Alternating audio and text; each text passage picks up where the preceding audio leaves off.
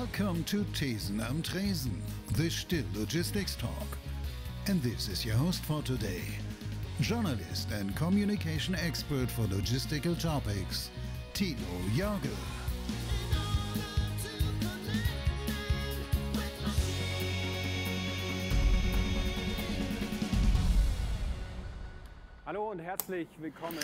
Hello and welcome everyone. We're here at the Hotel Interconti in Berlin on the 14th floor with a nice view at the Still Studio. Welcome also to all of you watching from home from your screens. We've got the third part of our Thesen am Tresen, our over-the-counter logistics talks here in Berlin, and we've got great guests uh, once again here with us today that I'm going to introduce you to. We've got Professor Julia Arlinghaus, she's the head of the Fraunhofer Institute for Factory operation and automation in Magdeburg in Germany. Welcome to you. And we've got uh, from Hamburg, Marina Hein. She's the Vice President for International Key Account Solutions at Kion ITS in the Europe, Middle East and Africa region. Welcome. And last but not least, we've got Kevin Koofs, the um, CEO uh, of Hermes Fulfillment from Hamburg. Welcome. All right, we're talking about automation today. The um, title is a bit provocative. Um, we're calling it a digital Saftladen. So basically, a bad job at digitization is still a job badly done. How to avoid automating the wrong way. But before we get started, what would you like to drink? We've got tea and water for you.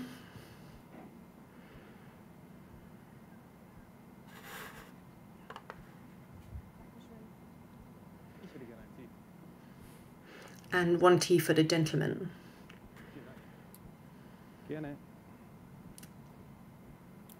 Ja, all right, if we look at the numbers and figures a little bit, then we'll see that the production volume in intralogistics during the COVID pandemic has remained quite high. Um, we're talking 22 billion here.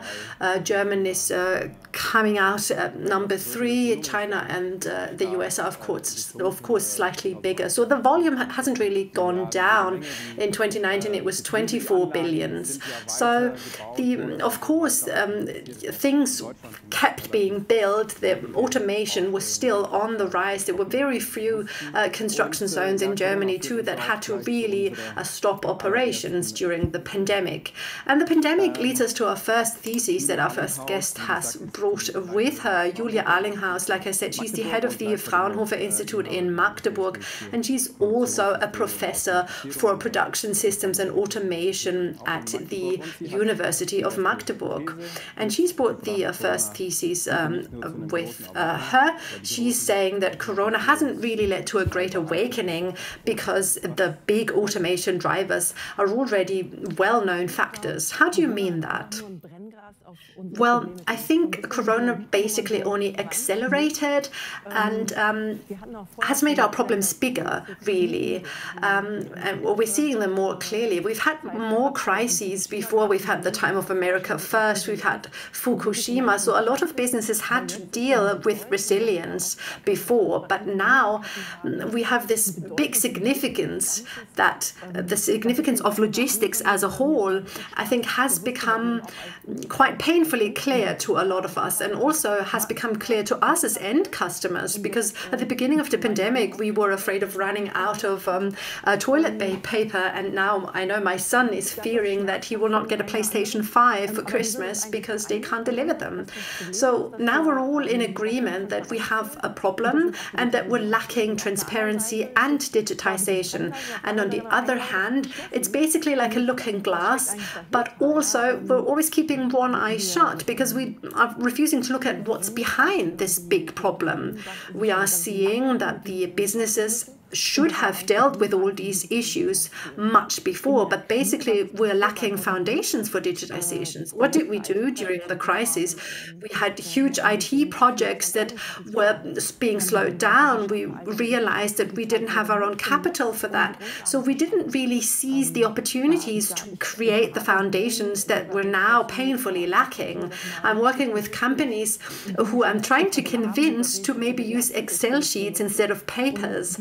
This is where we're at. And the ones that have SAP systems still have so many interfaces that they can't get a grip on the whole thing.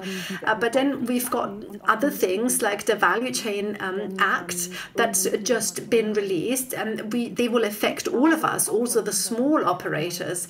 And if we look at the shortage of skilled workers and all the other challenges we're facing, I think it's clear that we need these foundations in order to have scalable digitization. Talking about a shortage of skilled workers, Kevin, you said that your company basically had a lockdown overnight and then people started ordering stuff online and Hermes couldn't really get a grip on the situation because you weren't able to just, you know, hire another thousand people, right? Indeed, um, Corona, of course, caught us by surprise, um, as it did everyone. The um, delivery changed and the supply chains got disrupted. We had to face the challenge of how to switch to an online business uh, from being a purely offline business. And we were basically uh, frozen in shock at first. We had to make sure that we could keep our warehouses open, that we could keep our locations open. We also didn't know, you know, how the situation would change if there were going to be more political changes, etc. But in retrospect, I think it was a great experience. It was painful, but it has brought about necessary changes because we were lucky enough that we collaborated with a lot of large companies and online players as partners. And we we went the extra mile. We um, said that okay in the first phase this was a capacity issue. And then in the ne- next phase we realized that it had become a service aspect and we could care about how to make our customers happy we collaborated really closely with our partners and we, we seized these painful experiences to learn from them. And I do think that today um, we are stronger than before than ever before, really. And customer satisfaction is at the core of our service range. And I think that is, for us as a service provider, this has been a great step because, you know, many years ago, our, our priorities were different. We looked at, you know, inventories and we basically only looked at efficiency and we sort of overlooked the customer and their satisfaction. And I think the last uh, 18 months have shown us very clearly that we need to change this. And then fulfillment and logistics were both the, the most essential uh, success factors that we could have. But had you not been so automated, I think your situation would have been different, no? Yes, definitely. Um, our location is close to, to Magdeburg. We have the um, the Hamburg port really close to us. So we started early on in the 90s, 90s to to work with automation, and we're still advancing that. But of course, the new challenges uh, in terms of uh, scaling uh, still apply to us as well. Regardless, without automation, we had we would not have been able to scale up just as rapidly as we did and we would not have been able to, to tackle these challenges the way we did. But from a manufacturer's side, I do have to say that we did um, face the concern that because of automation, scaling up is often prevented because you always try to adapt adapt to certain expectations and then if you suddenly face this extreme growth that was mm, very surprising due to the pandemic um, the fact is often that many companies tell us that that automation uh, serves as a kind of blockage, yet you are saying that it helped you scale up. Well, I think this has to do with how audacious you really are and um, how, how early do you try to make changes. And we're really happy with the automations that we have in place And of course, it could have been 10 or 20% more. But I think this is a question that we have to ask ourselves. What's our potential? How easily can I acquire new staff? It's not just about finding new staff, new personnel, but also, you know, the infrastructure plays a role. It's not just finding people, it's also about how to provide the infrastructure that all these people will need. And that's where automation can help us. And I think to us as a fulfillment service provider, this is a new path that we're forging here. We have to, you know, meet our employees halfway. We have to convince them that we're their friends, that we want to help them travel with us along this path. This is the only way we can survive and um, and also um, be successful. I think that's another thing that the pandemic has shown us that we have a lot of leaders these days who do say this, who are behind their staff and who believe in automation to to foster good cooperation with their staff. And I think this is another thing that will help us post-corona to to continue uh, to strive to to thrive. Yes, definitely. Scaling up and down is is definitely something that um, has affected us all, large companies and small ones alike. And the, the great awakening that you described when it comes to automation and the question of how we can scale up or down is something that has become a lot more clear and, and a much more present topic for any manufacturers. Now manufacturers are considering maybe renting material and equipment. Five years ago, this would have been completely unthinkable. Um, but this has changed considerably um, thanks to the pandemic. And today, the debates are in the industry are, are completely different. People are a lot more open, and they say, yes, we do need to consider um, if we might need Or AGV um, that we might want to um, offer to our customers. And I think before the pandemic, uh, people would have negated that much more clearly. And I think it's clear that you, as the businesses, are going through a lot of change, but we as manufacturers as well. And I, yeah, I do think that this market is definitely evolving. We did a small survey at the beginning of the year, and there were at least um, 20 startups that are dealing with AGV. Um, but for users, at the same time, users of these systems, um, there is a certain risk to use uh, these systems. And that's why we also see very different manufacturers or OEMs who also say, no, we're going to go for an individual solution for our individual needs needs. And that's what I mean, you know, standardization does play a role here and is gaining importance, but um, as, as a whole industry, I think we do have to do our homework when it comes to that and to, to come back to this thesis that standardization is still definitely needed with all these new systems. And you just mentioned um, um, manufacturers renting equipment. So we are seeing new business models um, sprouting up really like mushrooms all over the place in many different areas of production, you know, um, paper use, for example. And this is where smart smart maintenance comes in and where, where they are becoming more and more popular because at the end of the day it comes down to availability for the users. At the same time though we have to say that these are very highly individualized solutions. These are not standard products. And from what I know I think the, the fastest lead time for these uh, products is six weeks when it comes to renting equipment. And if we say that we have to wonder how realistic it actually actually is that the um, providers of such solutions are able to survive during, you know, the Christmas business, for example, when, when demand is so much higher. So I think um, we can't be too hopeful there that, you know, um, during the upcoming Christmas business that you can just rent automated vehicles and equipment. I think we will continue to need humans. Yes, definitely. And it depends. Of course, there are some things that are much easier to rent. Yeah, you can just, if you need another large warehouse, it's easy to, you know, just rent another building. It doesn't take a lot of imagination for that. But when it comes to FTS and EMA, of course, this has been um, a hot topic recently, and that's a, a, whole different issue. And there are and there are openings when it comes to the interface side. We have software platforms, for example. We're trying to have software platforms, and we would like to rent out vehicles from different manufacturers, so uh, people don't depend on just one single manufacturer, for example, because that makes makes customers more flexible and enables them to be more neutral. They're not dependent on, on one manufacturer. They have the software competence and then the vehicles that they rent are basically commodities. Uh, and that, yeah, that um, enables flexibility. All right, this was a lot of topics. Um, interfaces is something we'll um, come back to later, but let's take a step back. Marina Hein, um, in your position, I think you work with a lot of international key accounts um, with um, various different um, demands. So this brings us to our thesis. You said that um, some companies don't really do their homework properly. Um, what do you mean by that?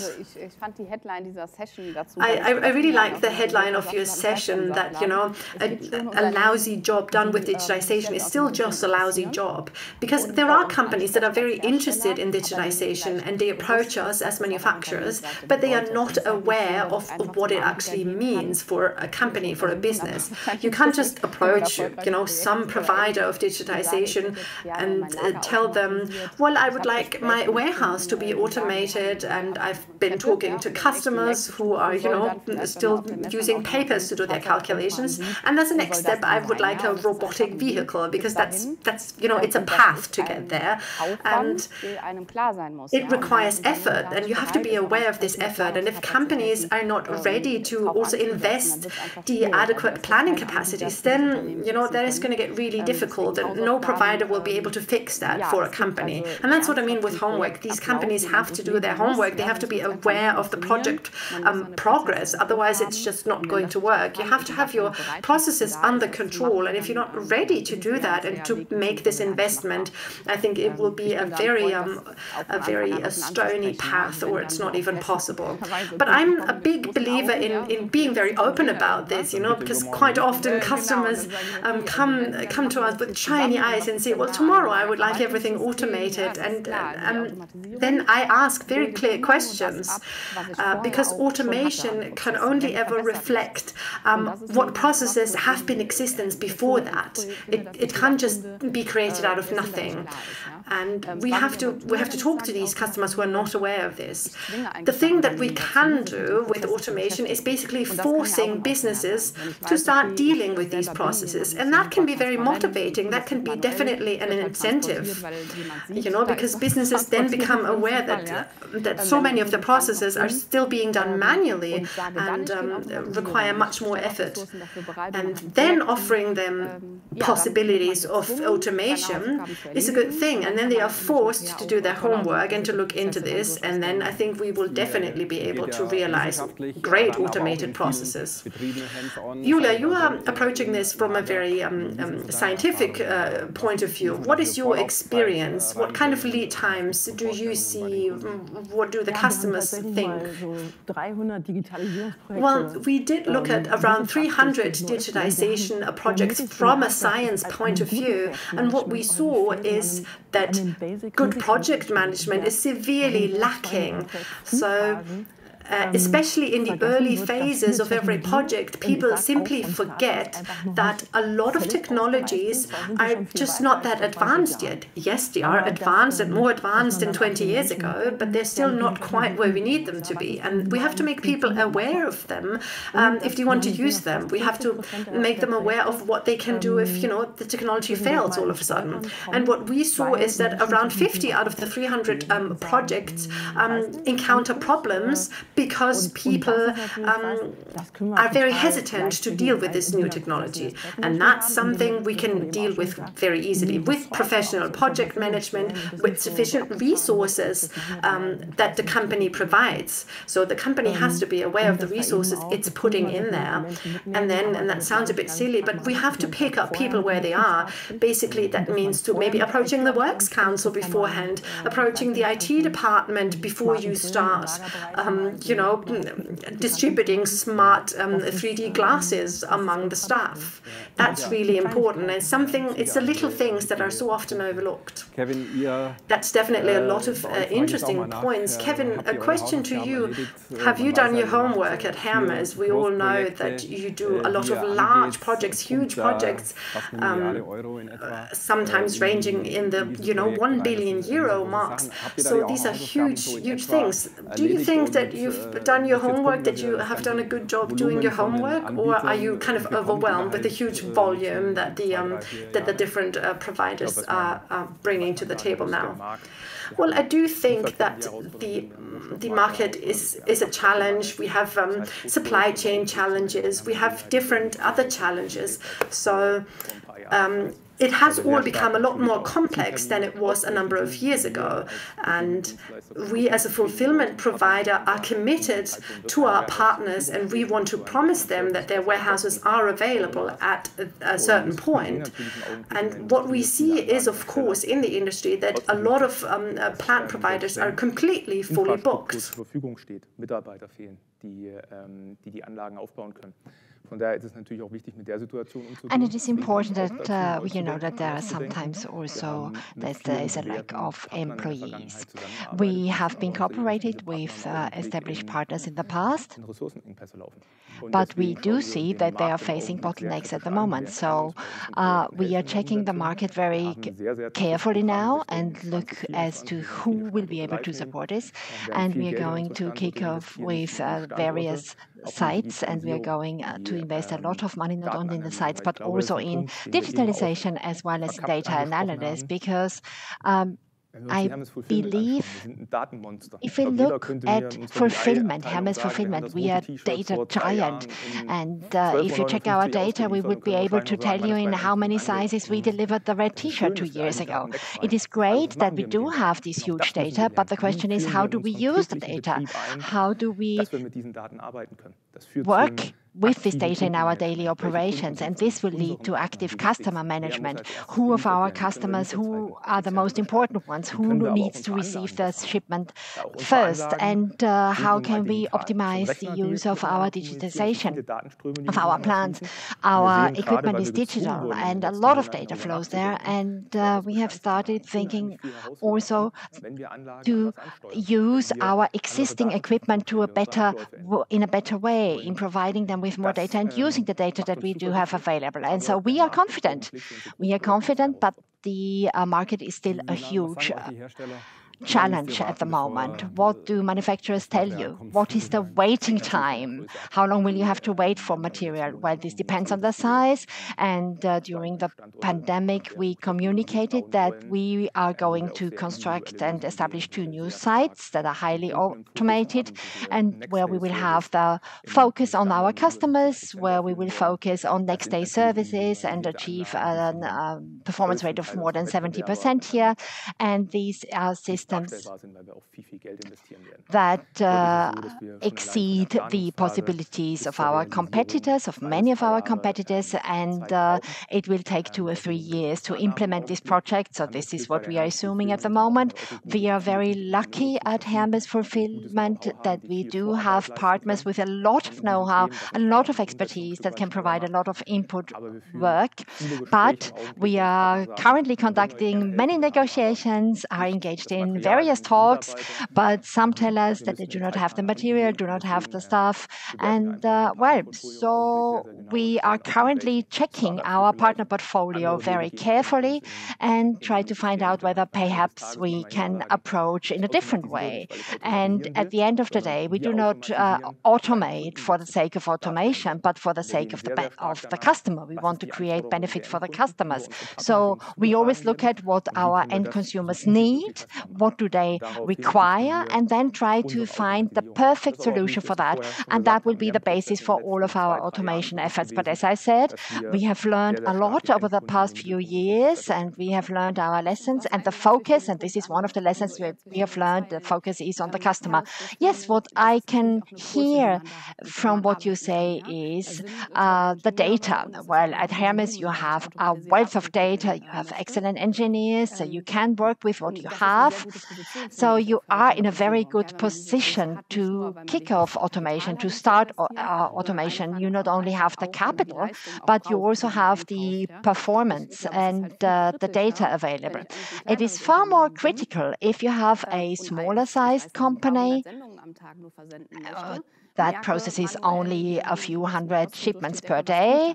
And uh, suddenly this company will be faced with huge costs.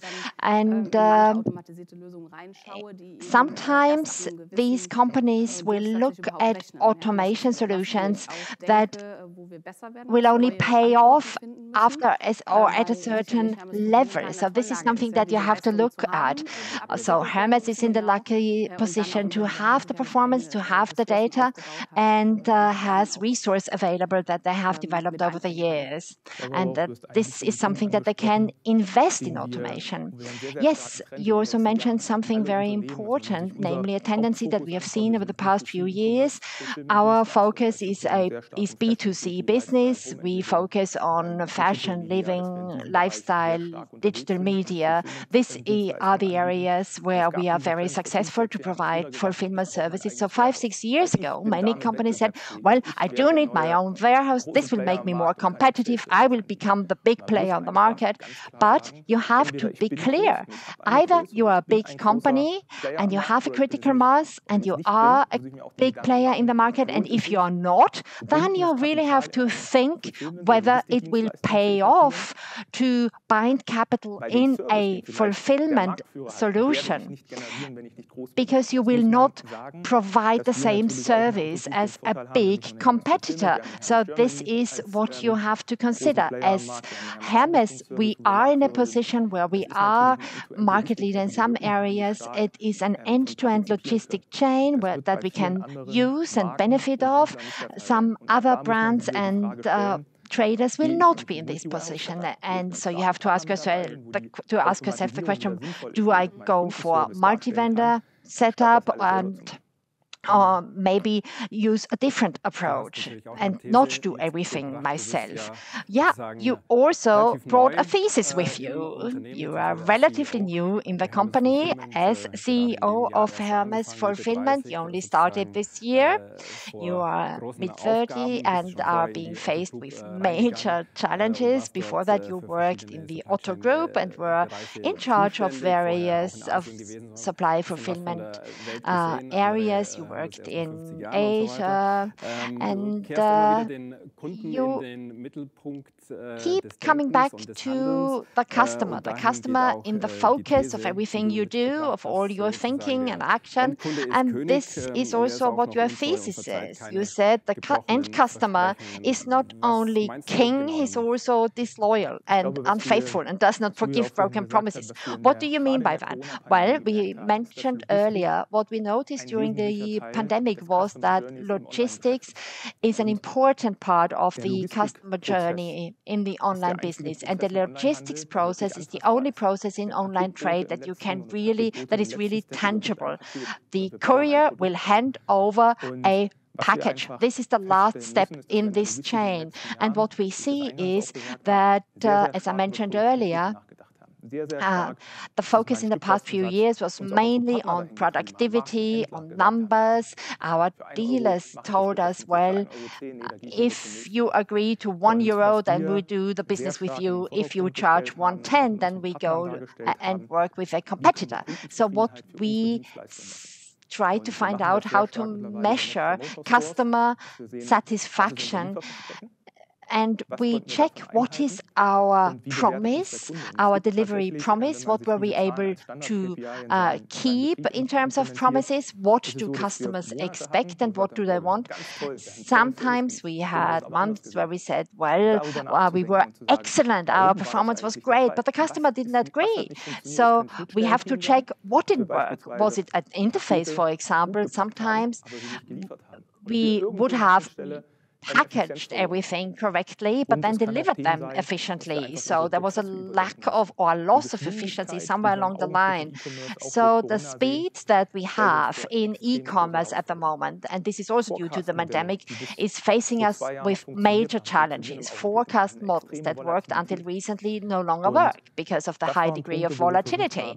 So these were some areas and aspects where we used net promoter scores and the standard KPIs um, also add the end customer into the focus also of our employees. Tell them, well, you may pack and wrap 1 million packages a day, but there's always a customer behind it. There is this person who ordered it. So this is something that you always have to take into account. And we see that if our performance is not excellent, the customer will tell us off. And uh, we do have many loyal customers because, as I said, we have this excellent service that we are able to provide. And we notice that when the service is excellent, the customer satisfaction is also very high. So this was a major challenge for us to focus more and more on the end consumer. Well, many service providers or suppliers say that the focus on the consumer, but you have to look at it critically. And in many cases, you will see that this is not the case, that they are not true. And I think this makes the difference. And this will also make the difference uh, after post Corona. Uh, well, I liked what you mentioned that the uh, mentioned the employee that you tell them how important the end consumer is. Let me ask you, what is the influence of the employee? If you have a high degree automation system, then you have a structure of various processes that have to go hand in hand for everything to work out properly. So how do the employees respond if they are suddenly faced with numbers and figures? Then as an employer, I, employee, I would say, well, what can I do about that? All I do is wrap the thing. Uh, yes, of course, you have to put this at a more abstract level. You cannot say, uh, well, the promoter score is at 70. No, you have to explain it to the employees. But if we have uh, somebody at the control center, then we tell these people, you play an important role. What you do is important, but you also have to tell the people working in packaging that they have an important role to play. And uh, so tell them, well, if you make a mistake and if you realize that it's not the blue t-shirt, but the red t-shirt that you should pack, and if you notice that this is wrong, then this will make a difference. And I think it is important that we talk to the employees, tell them, look, um, this is some, this is an example where we exceeded, and this is a, an area where we should improve. And this means enable your employee to give feedback. For example, say at the end of the day, well, maybe I, I was given fewer articles today, and uh, tell this to your supervisor, uh, and then analyze that. try to find out the reason why an employee processed fewer articles on a given day. So I think the development of teams is an important success factor and a success factor to develop teams further. Uh, we are, you have to add emotion and bring emotion to the business. If people are emotional, they will enjoy the job and they will also perform better. Let us take a step back. Marina, one of your theses was if the automation providers do not change their, their attitude, their mindset, said they will be pushed out of the market. What do you mean by that? Well, Julia mentioned that there are various startups, uh, not only in the past two years, I would say over the past five years, we have seen many startups, and then there are automated, uh, sorry, well-established automation providers who have been on the market for various years. And what we see is that many demands of consumers are fulfilled better by startups.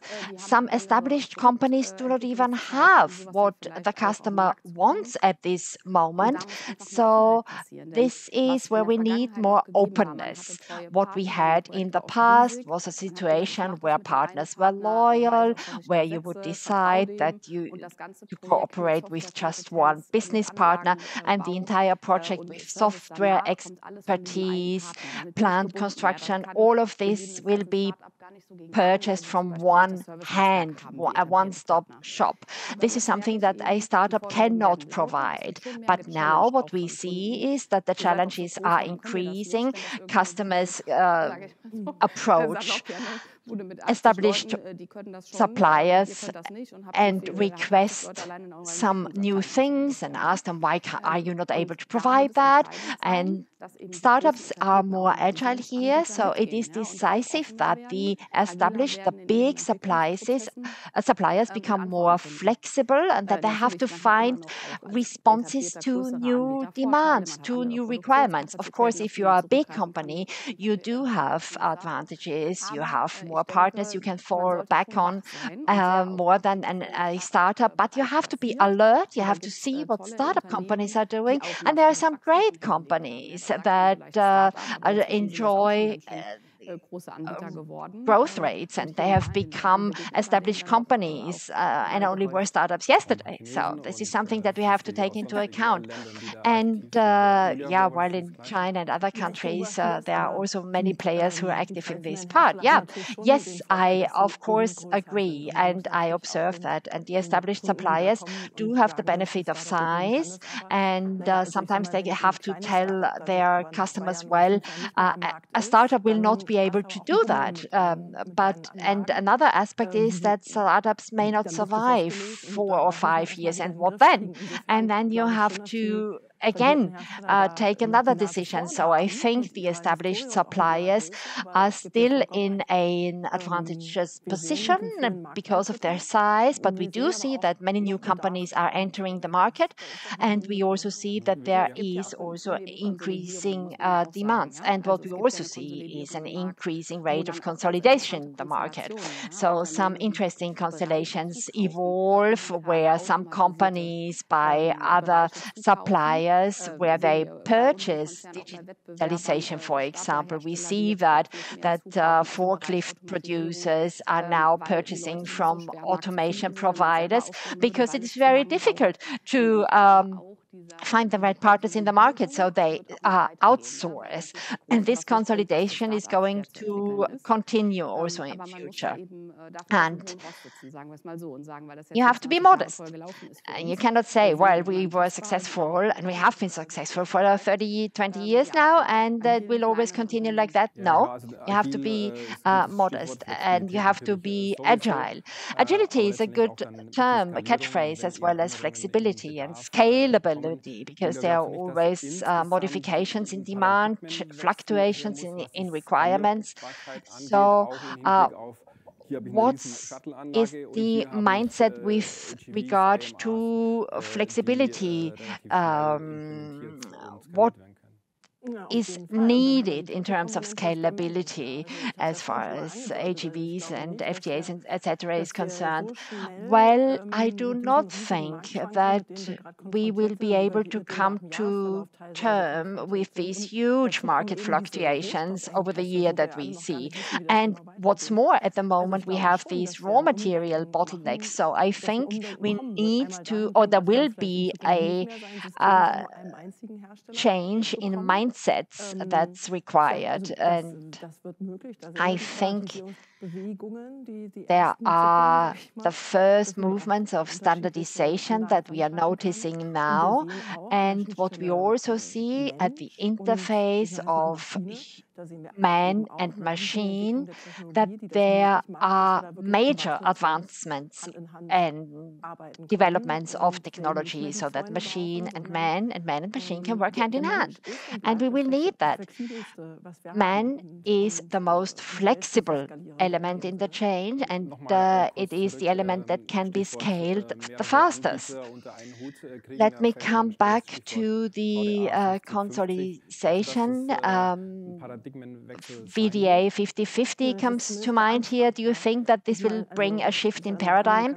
Well, I think it will be a first step. This new communication standard will make it possible for various FTSs as of different suppliers to cooperate. And I think it's the right step, the first right step into the right direction. And FDS, I'm sure, will also be transferable to other systems. I don't know how you see that.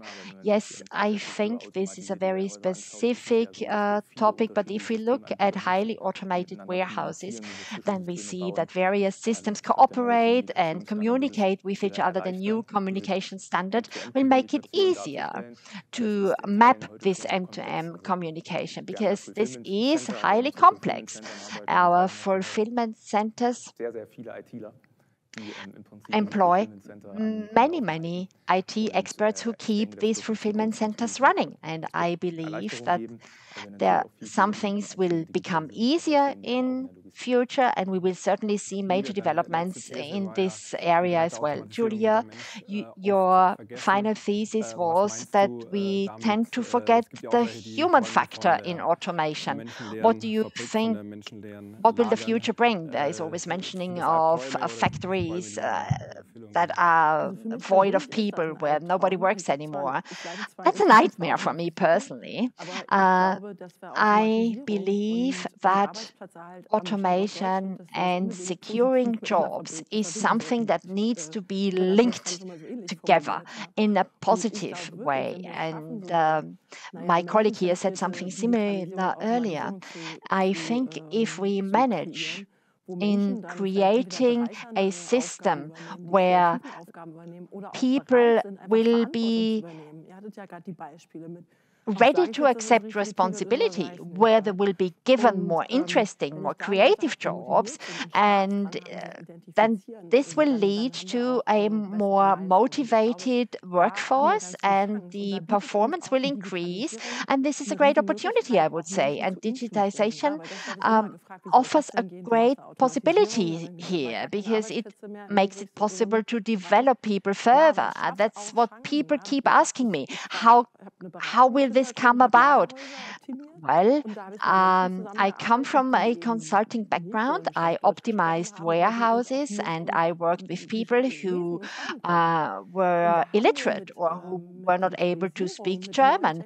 And uh, even against this background, um, we were successful because we had automation and were able to offer different approaches and solutions to this. Uh, warehouses. I am convinced that this is also a possibility to retain talent in a region. For example, Magdeburg, this is an area that uh, suffered from brain drain uh, over the past few years. The companies have difficulties finding people, and I believe if we are able to create jobs in this area, then uh, this would be great, wouldn't it? And uh, I think this is something that should also be possible at a high wage uh, location as we have here in Germany.